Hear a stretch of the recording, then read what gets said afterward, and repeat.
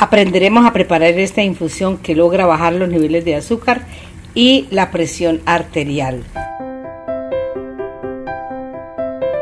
Hola, hola, bienvenidos nuevamente a nuestro canal, al canal de Lita Pinto.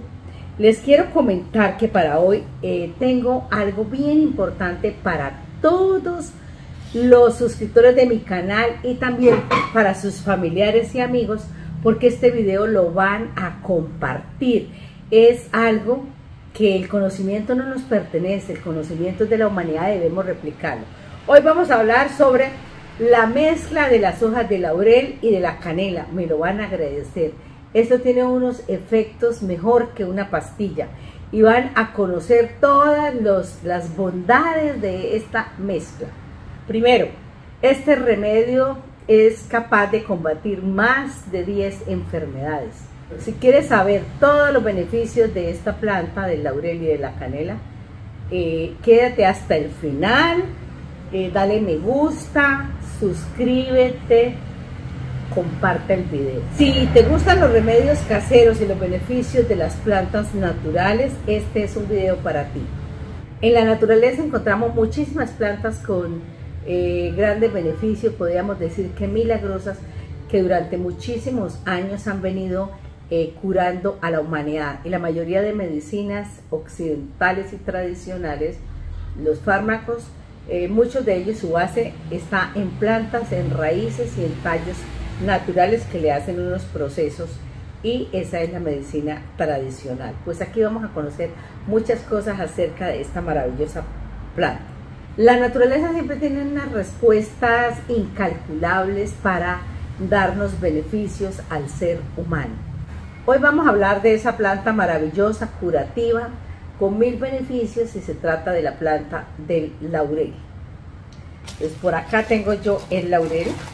El laurel está aquí eh, seco, diríamos, ya está seco. Yo lo mantengo en el congelador. Ustedes en el congelador sí yo mantengo esta bolsita así en el congelador. Bueno, eh, estas son hojas de laurel. El laurel lo podemos conseguir fácilmente en cualquier supermercado porque eh, el principal uso que le damos al laurel es para adobar las comidas, los estofados, las carnes. Vamos a hablar de varias cosas. Primero, desde la antigua Roma, el laurel se conoce como un signo de honorabilidad, de victoria, de premio, no tanto por el valor comercial, sino por el valor simbólico. Recuerden las coronas de laureles que se le colocaban a los ganadores en, las contiendas y en todo lo que tenía que ver con las contiendas deportivas. Eh, se dice que el laurel simboliza la sabiduría, la paz y la armonía. También guardar hojitas de laurel dentro de la cartera asegura que no nos falte el dinero. Bueno, ahora sí vamos a hablar de los beneficios del laurel. Las infusiones de laurel evita la caída del pelo, también combate la caspa. Después de que nos hemos bañado, podemos agua hervida con laurel, no la podemos agregar al, cabello Puede ser cuando el cabello esté sucio, cuando esté limpio y ayuda a que esa seborrea desaparezca. Eh, para la depresión, para el cansancio, para esos estados de ánimo bajos, eh, podemos servir hojitas de laurel, las colocamos en una tina y nos sumergimos en ella. Esto da calma, tranquilidad a las personas. Pero lo más importante del laurel es que es supremamente buena para eh, sostener bajos los niveles de azúcar y también, eh, o sea, lo que se llama la diabetes, ¿no? Y también es muy buena para bajar la eh, hipertensión. Entonces son la diabetes y la hipertensión. Entonces al final del video les enseño cómo se toma, cuántas veces al día. Es buena para la digestión cuando estamos así que a una comida nos ha caído mal, entonces, bueno, tomarnos nuestra infusión, la que les voy a enseñar acá, porque ella ayuda a sacar todas esas fatulencias, es decir, las fatulencias son lo que llamamos nosotros peos o petos, ¿no? Pero el nombre más elegante es fatulencias. Y para los cólicos, los cólicos premenstruales, a veces que las niñas tienen esos dolores de cólicos insoportables, una agüita de una infusión de la planta de laurel con canela logra que se caliente como toda esa parte del abdomen y permita que los conductos como que se ensanchen y pueda fluir eh, todo lo que los desechos que va a expulsar eh, esa parte, todo lo que tiene que ver con el ciclo menstrual. Combate las infecciones respiratorias, por ejemplo, la tos, el catarro, la moquera, las flemas, todo eso. Y ahora que hay tantos periodos como de lluvia, periodos fríos, periodos que nos acostipamos, nos resfriamos con tanta facilidad, que nos la pasamos estornudando, entonces una infusión de laurel y canela calientita a soplo y sorbo, a soplo y sorbo, como decían los sabores, soplar, así no nos quemamos y sí nos va a calentar toda esta parte de nuestro sistema respiratorio. Antes de continuar, recuerde que este video hay que compartirlo en las redes sociales, ¿no? Hay que compartirlo en las redes sociales. Eh, pueden ustedes colocar el hashtag eh, remedios caseros y allá en mi, en mi organización de los videos, entonces al colocar usted el símbolo de numeral o el hashtag, eh, remedios caseros, entonces usted lo va a llevar a estos remedios caseros que le voy a colocar acá en la cajita de información. Todo lo que he venido consultando y recogiendo información fabulosa, eh, vamos a leer, le voy a leer, le voy a nombrar, porque eso es bueno leerles, quiere decir que no hay equivocación, sobre las enfermedades con las cuales esta planta ayuda a, a curarlas. Eh, problemas del nervio ciático, ¿no? Ese nervio ciático, esos dolores tan tremendos, esta agüita la calma, disminuye esos dolores. Dolor de cabeza y la migraña. Yo siempre he escuchado desde hace muchísimos años que las personas eh, que toman agüita de laurel con canela para, eh, o sea, para quitar esos dolores de cabeza tan intensos, es decir, para disminuir o desaparecer en muchos casos la migraña. Cuando las personas tienen debilidad y poca energía, que están tristes, decaídos, entonces un agua de estas pone a la gente a mil, la pone con mucha energía, con entusiasmo, la ubica, la pone alegre, feliz. O sea, levanta los estados de ánimo y sí, porque a mí a veces cuando necesito, que estoy cansada y todo, me tomo una infusión de esto y como que me pone toda dichosa, desaparece de cualquier eh, momento, así que uno se vaya a sentir como nostálgico. Importante para evitar las lagunas mentales, eso que a veces queda la persona como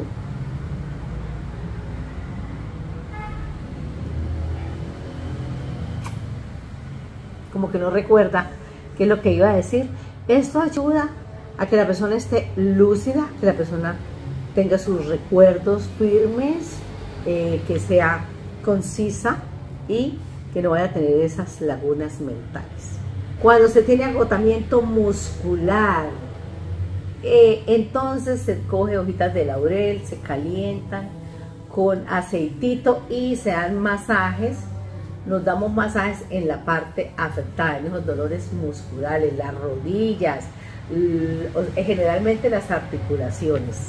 Para los síntomas premenstruales, yo ya les dije que esos síntomas premenstruales que a veces mandan a las personas a la cama, esta infusión de agüita, de laurel con la canela, son importantísimos, son importantes porque calientan y evitan esos dolores. Pero es muy importante para eliminar o disminuir la depresión, la melancolía y la tristeza. Se dice que las personas que han pasado por una tusa, por una decepción amorosa, que les entra la nostalgia, la melancolía, el desamor, la tristeza, esta agua de laurel con canela logra que la persona eh, supere esos estados de ánimo tan catastróficos. Entonces, a tomar agüita de laurel con canelita porque esa nos mantiene bien activos, eh, rozagantes, alegres, felices, dando gracias por todo lo que tenemos en esta vida. Las infecciones de la piel también podemos hacer eh, con esta infusión, nos podemos lavar las heridas y esto ayuda a que no se nos vayan a infectar. Las personas que retienen líquidos, es decir, que están como afectadas por el riñón, entonces esta agüita de hojitas de laurel con canela le va a servir muchísimo. La distensión abdominal y los gases, o sea, esos retorcijones, como esos entuertos que a veces están en el estómago, bien sea porque una comida cayó mal o porque esas distensiones en el estómago, esta agüita es maravillosa, calma, calma, calma, calma, calma. Disminuye el insomnio, es decir, atrae el sueño. Las personas que se les dificulta dormirse, está, es muy aconsejable tomar la infusión de laurel y canela para poder quedarse la persona dormida y entrar en sueños profundos decir, llama amor feo. Bueno, pero antes de continuar, no se olviden de decirnos de qué parte del mundo, del planeta, usted está conectado, desde dónde está viendo este video, qué es lo que más le ha gustado, qué otros usos conoce del laurel y de la canela. Voy a decirle cuáles serían las contraindicaciones. Eh, personas en estado de embarazo, no consumirla. Eh, una persona que tenga úlceras demasiado avanzadas, pues es mejor no, porque como esto limpia tanto, niños menores de 12 años, pues tampoco. Eh, y siempre, siempre, siempre, siempre, esto es una recomendación importante, hay que consumir las hojas que estén secas. porque cuando están verdes, eh, ellas están como terminando de madurarse y entonces al consumir en cantidades abundantes podría soltar algunos tóxicos.